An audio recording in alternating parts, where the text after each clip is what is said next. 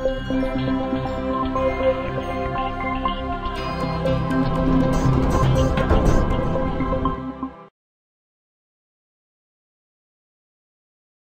orofacial cleft is a gap in the lip, upper jaw and or the palate.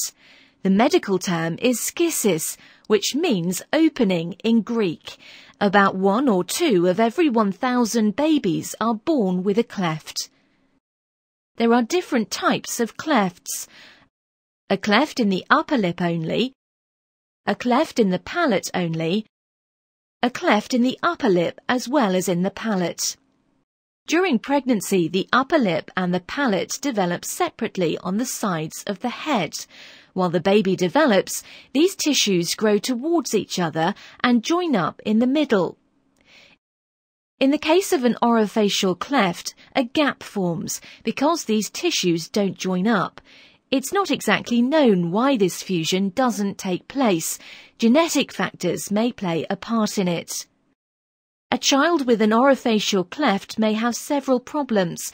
In case of a palate cleft, the complaints are often more serious than with a lip cleft.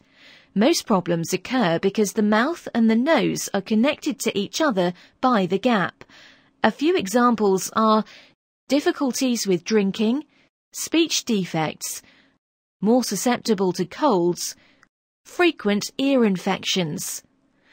Orofacial clefts are fixed by means of surgery. Surgery to repair a cleft in the upper lip can already be done by the age of three months. Surgery to repair a cleft palate often takes place when the child is between 6 and 15 months old. A team of doctors and specialists called a schisis team works together to treat an orofacial cleft.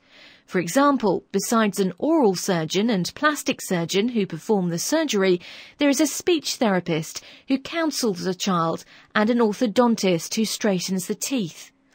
A child with a cleft will have regular dentist checkups till it reaches adulthood. Because children with orofacial clefts are more prone to ear infections, often an otolaryngologist is also part of the team. To get the best results, a surgery is sometimes needed at an adult age. People around may have different responses to a child with an orofacial cleft. Sometimes this can be difficult for the child as well as the parents. It often helps to explain what's going on and be open about it. A psychologist might be of help with this.